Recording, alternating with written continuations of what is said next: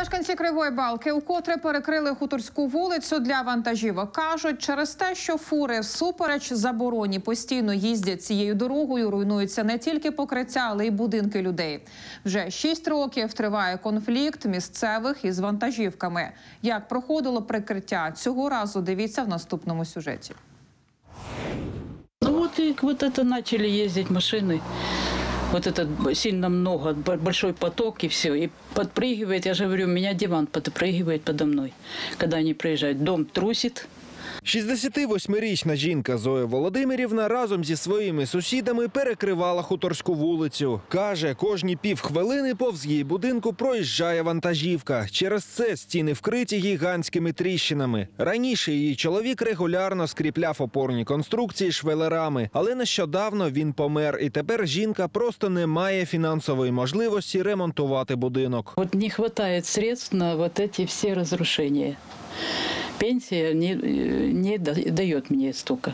Я уже как-то не реагирую на это все, я уже просто устала от этого всего. В таком плане. Уже не хочется и жить.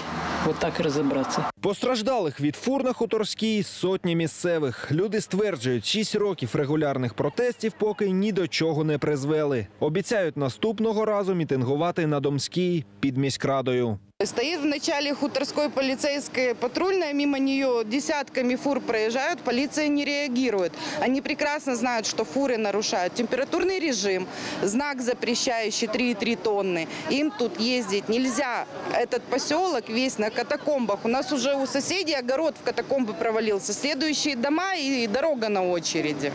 Дома рушатся, фуры едут, сейчас начнется опять э, уборка урожая, зерно, Э, дорогу перейти нельзя, каждый раз отпускаешь ребенка в магазин и переживаешь, в школу точно так же, то есть и никакого просвета, сколько к нам сюда не приезжали, и с управления транспорта, и с Суворовской администрации, обещаний много, но ВОЗ и ныне там, как бы никаких изменений не происходит. Далекобійники стверджують, вони з радістю проїжджали би іншими шляхами, але усі дороги до порту не призначені для вантажівок. Тому їм, начебто, просто нема де їхати.